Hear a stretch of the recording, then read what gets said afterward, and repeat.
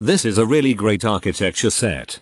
Building it was short but fun. What I liked, highly detailed pedestal base and nice curves on body. What I didn't like, lazy flat face design. I swapped some pieces to make it look a bit better. See pics. And torch arm could be a bit better. It doesn't look right. My daughter loves this. It took her 3 good days of work to finish it. She's 10. I was worried it would be too challenging but it was very repetitive in design and I think that's how she got through it as easily as she did. The only complaint we might have is that we wish it had a face. Not sure why this says it's for 16 year olds or older only. My 8 year old son finished it over the course of 2 days with only a few hours each day put on this Lego. He's had harder Legos than this one with a lower age requirement. He did enjoyed it and even drew a face on it since I didn't have a face. It is a nice Lego but the age requirement is nonsense. Challenge your kids. This is an absolutely beautiful architecture set. Some other builders have stated that they don't like that there isn't more detail in the face. I agree that it could look better to have some, but I don't feel it detracts from the simple beauty of this set.